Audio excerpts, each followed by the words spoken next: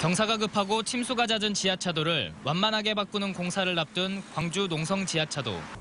지난달 말부터 교통을 통제하고 지하차도를 부분 폐쇄한 뒤 본격적인 공사를 하기로 했지만 별다른 안내 없이 공사가 5월 초로 미뤄졌습니다.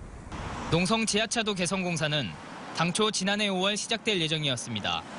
그런데 교통 대책도 없이 추진된 데다 땅에 묻혀 있는 가스관이 갑자기 발견돼 공사가 이미 한 차례 연기됐었고 교통 대책을 세우느라 공사비 22억 원이 증가했습니다.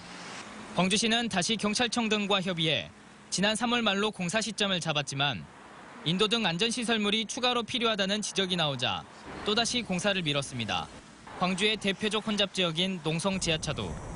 본격적인 공사가 시작되기도 전에 공사 시기 안내조차 우왕좌왕하며 시민들에게 혼선을 주고 있습니다.